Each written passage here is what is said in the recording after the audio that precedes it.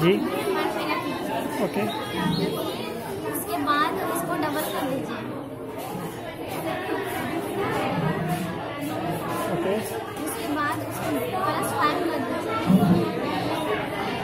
Okay उसके बाद उसको मल्टीप्लाई कर दीजिए। ओके उसके बाद आपकी कितनी बहन है वो उसमें ऐड कर दीजिए। ओके सा? सिक्सटी एट सिक्सटी एट कैसे